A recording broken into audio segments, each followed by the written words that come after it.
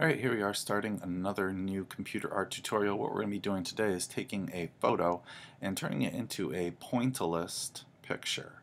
So pointillism was an art style that came after Impressionism and basically what it was was artwork composed of a series of a lot of tiny dots.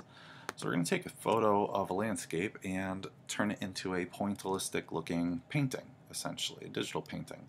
So what we're going to start with doing is actually looking up an image here online and what we're looking at here is a well-known famous example of pointillism by a man named Seurat and this example I would like you to go ahead and try and look up if you look up pointillism it will probably be one of the first things to come up for a Google search. So I'm going to right click it and I'm going to save this image as, I'm just going to save it on my desktop and I'll call it pointillism. That works. Now I'm going to go ahead back over to Photoshop. I'm going to go File, Open, and go to my desktop and find my pointillism picture and open it. And then we will go ahead and look for an image that we want to use to add this style to. I started up looking uh, for a search of some nice landscapes of Switzerland, a place on my bucket list of places to go. Very beautiful place. So I think I was down to these two images here. I think I'm going to go with this one on the left here. I'm going to copy this image Something I always tell my students while we do this kind of stuff in class is that obviously borrowing other people's images for learning is okay, but if you really want to get into this as a business, got to use your own photos. But here we go, going into this tutorial. Um, so now what we want to do is we are actually going to go to image at the top and we want to look for adjustments and we want to go down to match color. What we're going to use in this match color uh, feature is we're going to change the source of our colors to coming from this other image that we have open, Pointillism 2. Um, so it's going to take the color scheme from this image and apply it to this photo. Pretty neat little thing there. So um, now we have colors more reminiscent of this time period.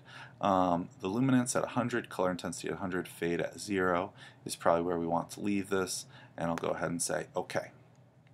So now that we have a good color scheme here for pointillist style painting, um, we're going to do a copy of this layer and so we could hit Command J, we could right click and go duplicate layer and just say OK, layer 1 copy and what we're going to do on this top layer actually is add the pointillism effect, but we'll do that in a minute.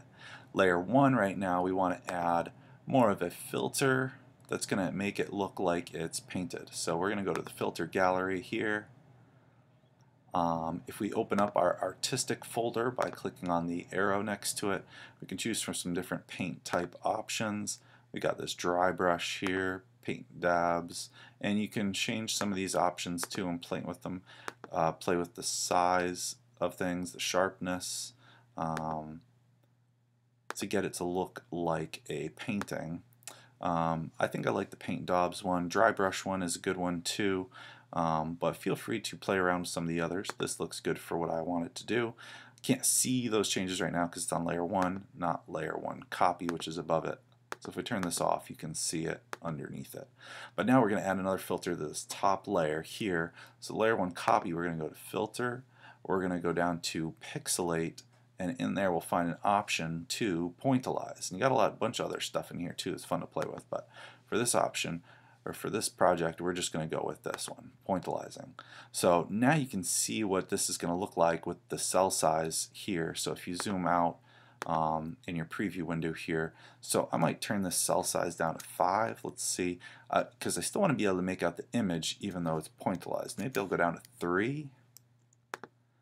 And let's see if I get any difference with 2. Not really.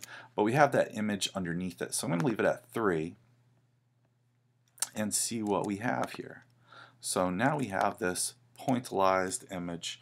Um, feel like I want to make sure that this layer actually might want to get transparent a little bit so that it layers over the layer underneath it. There we go. I might turn that down to about 50% or so.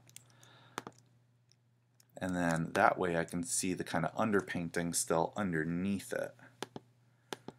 That's behind it. And then the pointillizing effect is layered on top.